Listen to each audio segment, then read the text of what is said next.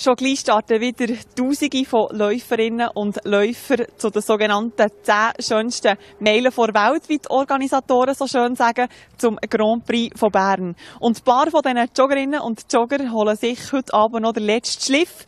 Und zwar nicht bei irgendjemandem, sondern bei der ehemaligen Profiläuferin, bei der Anita Weiermann. Anita Weiermann, was steht heute auf dem Programm für die Läufer? Ja, äh, heute Abend machen sie zuerst ein Einlaufen, dann machen wir ein bisschen Laufschuh. Also wenn man eine gute Lauftechnik hat, kommt man natürlich auch ein bisschen schneller ans Ziel. Und vor allem ist es weniger belastend für den Körper. Also man kann mit einer guten Technik auch Verletzungen vorbeugen. Dann machen wir etwas, ja, was sie noch ein bisschen schneller machen für einen GP.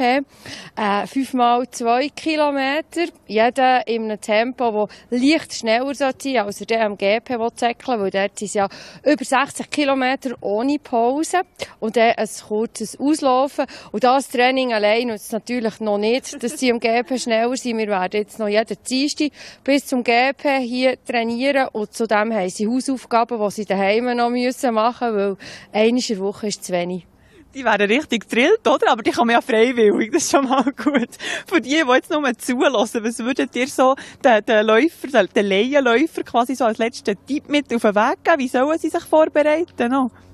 Ja, jetzt sicher noch trainieren bis eine Woche vorher. Und in der letzten Woche, da kann man eigentlich äh, im Training nicht mehr rausholen, aber gerade die Liegestuhl liegen auch nicht. Also man muss einfach noch etwas machen, dass man sich gut fühlt am Start. Aber das Training, für schneller zu werden, das muss eine Woche vor dem GP abgeschlossen sein. Und wenn man jetzt anfängt, ist es eigentlich zu spät. Also, also man sollte da schon im Winter etwas gemacht haben, für dass man äh, ja, einen erfolgreichen GP kann machen in vier Wochen für das einem dann nicht alles wehtut, oder? Nach diesen 16 Kilometern. Jetzt die Vorbereitung ist ja das eine, der Lauf ist das andere. Wie soll man den einteilen, die 16 Kilometer? Ja, der GP verleitet natürlich zum schnell starten. Es geht am Anfang gerade der Aargauer Strauden ab. Ich sage immer, trainiert das im Training, rennt nicht immer nur flach oder bergauf, sondern auch mal runter und das ein bisschen zügig, weil sonst geht es erst recht in die Beine, wenn man sich nicht gewohnt ist.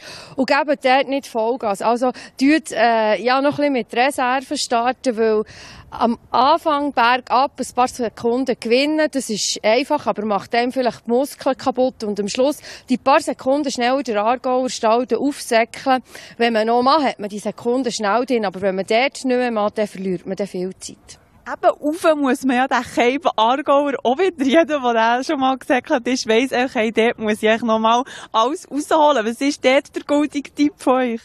Ja, äh, den Spruch kennt man, glaube ich. Der geht wirklich nur noch gering ab und sagt, der tut es jedem weh, wo, wo der Grand Prix wirklich äh, so schnell, wie er, wie er kann, will, äh, fertig machen Und dort dort muss man sich einfach noch ins Viertel klemmen. Wenn man dann endlich mal oben beim Rosengarten ist, dann geht es ja nur noch Flachlicht ab ins Ziel, aber dort heisst es einfach noch durchbeissen. Ihr habt gesagt, gering ab und säckeln ist der Spruch, der dir so ein bisschen bekannt wurde. Natürlich auch die sportlichen Erfolge. Profikarriere ist abgeschlossen, aber Läuferin, ich glaube, das bleibt ein Leben lang. Ja, also Säckeln, das ist noch etwas, was ich immer noch gerne mache. Am GP werde ich aber nur als Zuschauerin und bei Siegerehrung, also ja, für die Medaille zu übergeben, äh, dabei sein. Wie, wie viele Kilometer spulen ihr eigentlich noch, noch ab, so in einer Woche? Ich meine, ihr seid Mutter, ihr arbeitet, wie habt ihr noch Zeit? Ja, ein Kilometer rechne ich eigentlich nicht mehr. Ich schaue, dass ich immer mindestens zweimal pro Woche äh, zum Säckeln komme. Manchmal sind so dreimal, je nachdem, was ich schon noch mache, ein bisschen weniger. Letzte Woche bin ich für eine Laufwoche in Sardinien und da spule ich immer so viele Kilometer ab, wie sonst nie im Jahr. Jetzt noch einmal zurück zum GP. Das Training heute, ähm, denkt ihr, es ist, weiss doch nicht, besonders motivierend, da eben von, von einem Profi quasi die letzten Tipps zu bekommen? Oder was geht ihr ihnen auf den Weg? Ist das so irgendwie mental oder keine Ahnung? Ich denke, es ist vor allem einfacher, wenn man ein Herztraining nicht allein machen muss, wenn man es in einer Gruppe machen kann. Und äh, ja, so findet jeder wahrscheinlich heute Abend ein bisschen jemand, der noch pusht. Und die meisten, die kommen, ähm, finden das eben auch cool, dass man ein Training, das mal ein bisschen schneller ist als das GP-Tempo, das ein bisschen weh tut, dass man da von den anderen motiviert wird. Es geht viel einfacher. Es ist mir auch früher immer einfacher gegangen, wenn ich Trainingspartner hatte. Und das ist eigentlich das Ziel. Es gibt auch solche, die jedes Jahr Jahr wieder kommen, für den letzten Schliff zu holen vor dem GP, aber vor allem, dass sie die harten Training nicht allein müssen abspulen was mich zum Schluss noch würde interessieren, wieso sollte ich mich für einen GP anmelden? Also sprich, was gibt einem so einen Lauf? Ja, vor allem, äh, er macht einem fit.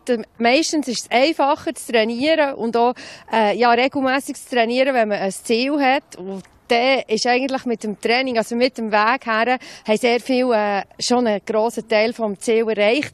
Und dann ist es natürlich umso cooler, wenn man dann das mit einem guten Ergebnis kann abschließen kann. Und der GP sagen immer, es sollte nicht äh, ja, so sein, dass man dann wieder ein Jahr Pause macht, sondern das Lauftraining.